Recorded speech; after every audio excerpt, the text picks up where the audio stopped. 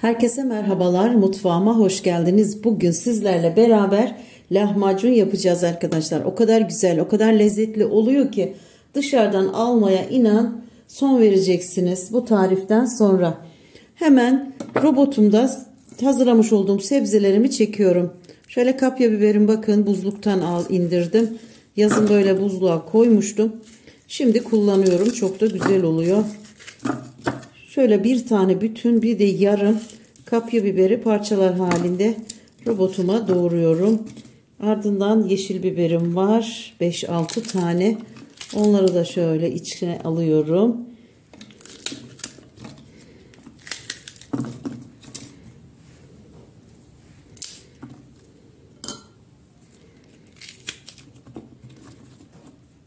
Sarımsağım var 4 diş. Onları da üzerine atayım. Ee, soğanımız kaldı. Onu da ilave yapalım. Hepsini çeker herhalde. Şöyle bir buçuk da soğan kullanıyorum. Soğanım biraz iriydi. Bir de yarım vardı. Onu değerlendireyim dedim. Bu şekilde soğanı da ilave yaptıktan sonra inşallah robot da bunu çekecek. Bayağı bir doldurdum. Şöyle maydanozumu ilave ediyorum. Yine buzluktan maydanoz kullandım. Evde tazesi olmayınca böyle buzluktan indirip hemen işimi görüyorum. Ve domates konserve açtım. Böyle yazın yine koymuştum arkadaşlar. Ee, şeye kavanozlara. Ama evinizde şu anda elinizin altında domatesi var ise iki tane de domates doğrayabilirsiniz bu karışımın içine.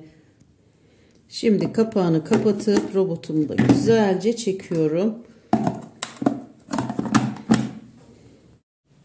Evet arkadaşlar elektriğimiz kesikti. Robotta çekemedim. Hepsini robottan çıkardım. İnce ince doğramaya çalıştım. Ve bu şekilde hazırladım. Şimdi tuzunu ilave edeceğim ve diğer malzemelerimi de ilave ederek yoğuracağım. Şöyle bir tatlı kaşığı tuzumu ilave ediyorum. 2 çay kaşığı pul biber, 1 çay kaşığı kırmızı toz biber ve 1 çay kaşığı karabiber ilavesi yaptım. Bir çay bardağı sıvı yağım var. Onu da ilave ediyorum. Bir yemek kaşığı salçamı da ilave ediyorum. Ve son olarak da kıymamı burada 300 gram, 350 gram kadar kıyma var. Onu da ilave ettikten sonra elimle güzelce şöyle sıkıştırarak yoğuracağım.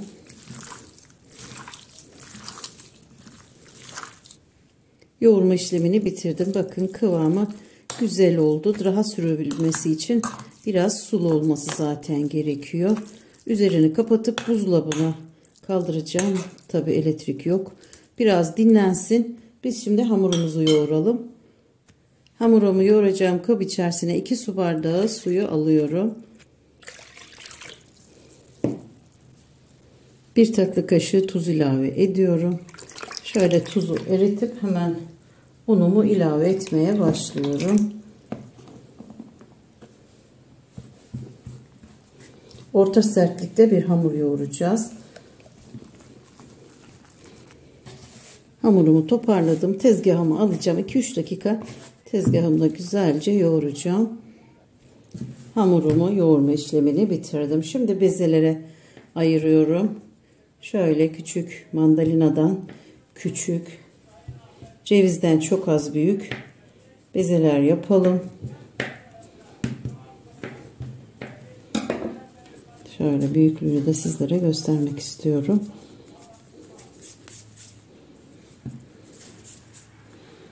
Bu kadar yeter olacaktır. Yoğurmuş olduğumuz hamurumuzdan 15 tane beze çıktı. Şöyle üzerini kapatalım ki kurumasın. Kenara alıyorum ve hemen bir tane bezeyi dinlendirmeden açmaya başlıyorum. Vaktiniz var ise bir 10-15 dakika dinlendirin. Ben dinlendirmeden hemen açmaya başlayacağım.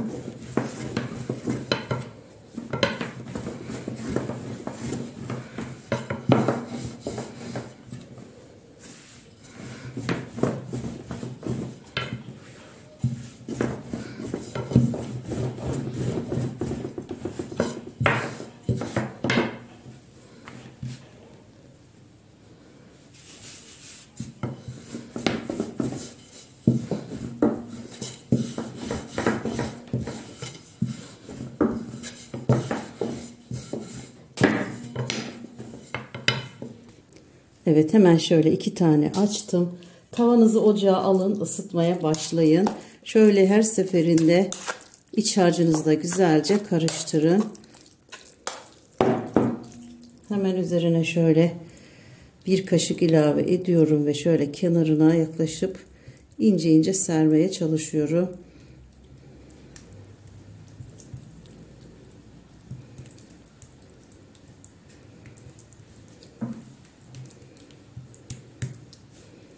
Elinizle de sürebilirsiniz bu e, şerit de şöyle elinize de inceltince sürebilirsiniz. Hemen diğerine de şöyle bir kaşık ilavesi yapıp onu da sürüyorum ve çift tava çalışacağım arkadaşlar ben.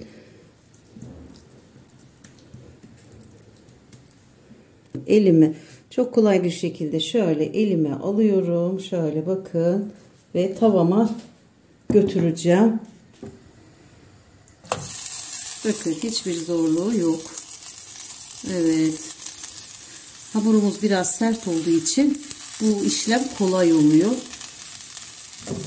Ocağımız kısık olsun. Kapağını kapatıyoruz. Evet arkadaşlar kapağını kapattım.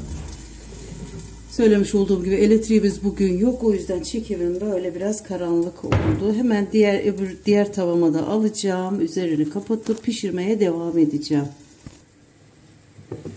Evet şöyle kontrol edeceğim. Sizlere de göstereceğim. Bakın altı çok güzel bir şekilde çıtır çıtır kızarmış. Üzeri de pişti. Hemen alıyorum ve diğerlerini tavama ilave edeceğim. Lahmacunumu servis tabağıma alıyorum. Evet şöyle göstermek istiyorum arkadaşlar. Ve diğerini onun üzerine kapatıyorum. Bu şekilde devam ediyorum. Evet arkadaşlar pişen lahmacunumu tekrar üzerine alıyorum. Diğerini de bakın onun üzerine şöyle kapatıyorum. Bu şekilde devam ediyorum.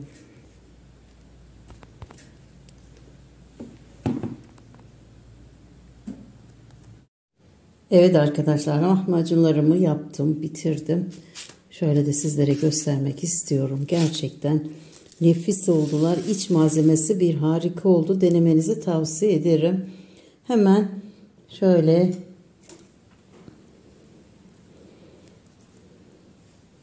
dilediğiniz gibi hazırlayarak tüketebilirsiniz.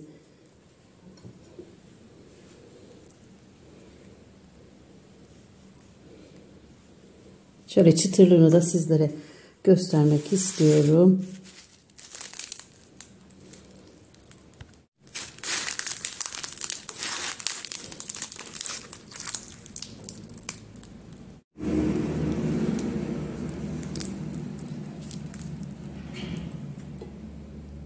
Deneyecek olan herkese afiyet olsun.